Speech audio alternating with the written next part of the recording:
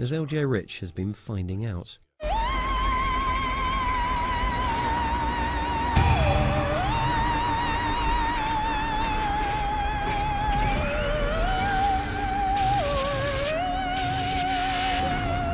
No, this isn't the inevitable robot uprising. Instead, you're looking at something that's been part of an elaborate advertising campaign.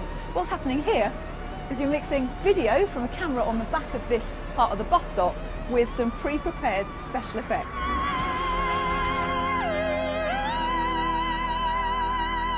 Get the perspective and the lighting right, and you've got an ad that got 4.7 million views on YouTube in less than a week. Now, for this to work properly, everything the camera sees has to line up directly with this grid. Exact measurements are important because the graphic designers need to know exactly where to put their visuals. The installation itself, though, is quite simple. Along with the camera, there's a 65 inch Full HD screen inside the shelter. That's connected to a single computer running Windows 7. In fact, all the hard calculations for the scenarios have been done in advance, and that took around three months. We've taken some, um, some plate shots of Oxford Street and we've reversioned that into a 3D world. All of the content that we've created within that space uses the environment specifically for that bus stop. If we were going to roll that out across the 1,500 bus stops around the country, we'd have to go and do that exact same process with all of them. That's where the challenge is, really. We worked with Unilever on one of their deodorant brands to make angels appear like they were falling from the skies, landing on the station concourse around users. It was the first time augmented reality had been seen large format. The developers also had to make the videos work in different lighting scenarios, for example, nighttime or here, dusk. It's an incredibly painstaking and elaborate process.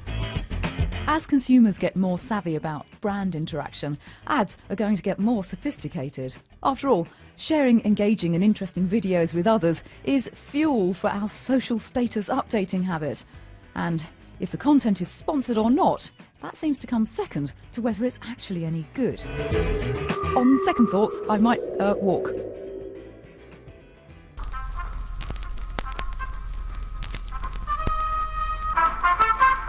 Need to promote a product, a service, or a thing? Then you need to advertise. It's delicious. Quicker, longer lasting relief. It's the most modern shampoo in the world. Here at the Museum of Brands, Packaging and Advertising, visitors are surrounded by products and commercials from a time when social networking meant attending a debutante's ball. Advertisers are finding it increasingly difficult to attract the attentions of audiences. More and more TV viewers are watching on-demand streaming services or enjoying TV box sets in great big ad-free gulps. And there are, of course, the ever-present distractions provided by the internet.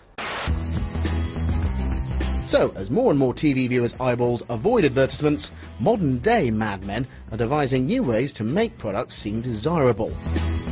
While the practice of subtle product placement in TV shows and movies has gone on for decades, developers at Mirriad have, using technology originally designed for Hollywood blockbusters, given advertisers the ability to change a brand name or, in some cases, an entire product that appears in a program or movie after it's been filmed and edited. One of the great benefits about what we do is we can take a show that's produced, for example, in a US studio um, that gets distributed to as many as two, 200 different markets different brands can be placed into you know, the show as it airs in each of those different 200 markets. So um, a good example of that for, is, uh, is in Brazil, where we, uh, we placed a Mitsubishi in place of a, of a Bentley in one scene. Some people say it should be the other way around, but actually we placed the Mitsubishi, which was specifically being launched in Brazil at the time where this particular show was airing. In order to add an object to a scene after it's been filmed, you first need to understand how the camera has moved in 3D space. Our brains are very good at this, but to a computer, a video on its own is a flat and meaningless collection of colours. The techniques pioneered here help computers to automatically understand what's going on in a particular shot, so they know how the camera is moving. Once you know that, you can put the new object in with exactly the right orientation and lighting. Product placement is an example of a hidden method of persuasion. However, in some quarters, more overt tactics are preferred. Online advertising can be very specific and targeted. Advertisers can track what sites users have searched for and visited, tailoring ads as a result of the data gathered. TV is now starting to imitate what the online world is doing, and I always say imitation, you know, is the most sincere form of flattery. So we must be doing something right in the online world, um, because TV is starting to to go towards making ads more targeted and more personalized. Historically, advertising has always kept pace with the latest advances in technology, whether that's paint or pixels, in order to sell us stuff. And while the method of delivery may change, the message remains the same. We'll be right back after this word, word.